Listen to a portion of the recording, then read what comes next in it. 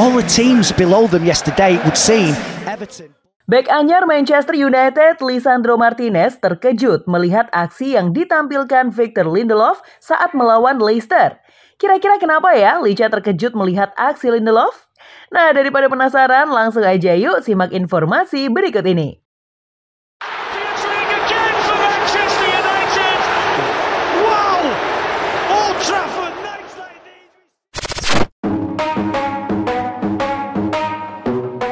Lindelof menjadi salah satu pemain Manchester United yang musim ini mengalami penurunan menit bermain di bawah arahan Erik ten Hag. Selain karena kalah bersaing dengan Lisandro Martinez dan Rafael Varane, Ten Hag sendiri juga sering menjadikan Shaw sebagai back tengah.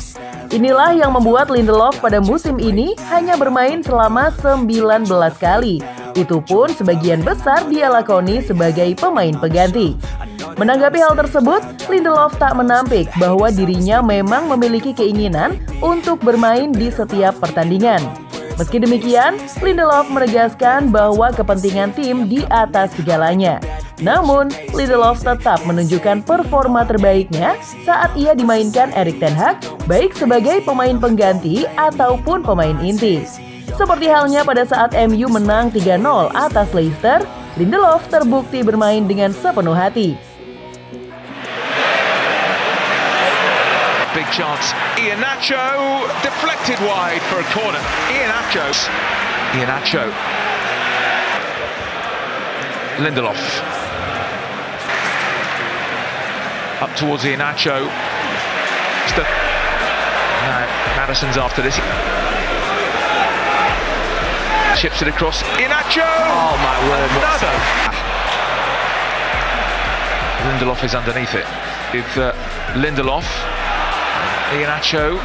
It's uh, Well, he was late. he was just a bit late. So late there, Carabao. Yeah, the high press is a problem, isn't it? But Bermain sejak menit pertama, Victor Lindelof mampu melakukan pembuktian di depan Ten Hag jika dirinya masih mampu bersaing dengan Varane dan Lisandro. Lindelof mampu menunjukkan statistik yang luar biasa saat bikin clean sheet menjamu The Foxes. 8 kali clearances, 100% memenangi duel area, 3 kali tackle sukses, dan 4 kali block. Jelas ini menunjukkan penampilan Lindelof pada laga kali ini bukanlah main-main. Bahkan Lisandro yang saat itu bermain sebagai partner Lindelof terkejut melihat aksi dari mantan pemain Benfica tersebut. Sedangkan di sisi lain, pria berpaspor Swedia itu memperlihatkan kepada Ten Hag bahwa dirinya masih layak diperhitungkan untuk bermain sejak menit awal laga. if I was the manager, Arns, Christiansen, isn't he? Because he probably thinks to himself, give it one or two dangerous runs down the outside of Harvey season. All of a sudden, you're thrust into the limelight, and it, you know it could really happen. Sabitzer. In goes Lindelof. Off. Through. Lindelof. in. Pratt. Lindelof. Oh, that might, yeah. Was looking for Bruno on the edge of the area. By the way, Stu, Nah, kalau menurut kamu sendiri gimana nih tentang aksi Lindelof pada laga kemarin melawan Leicester City? Apakah ia layak diberikan jatah menit bermain lebih banyak lagi? Tulis ya pendapat kamu di kolom komentar.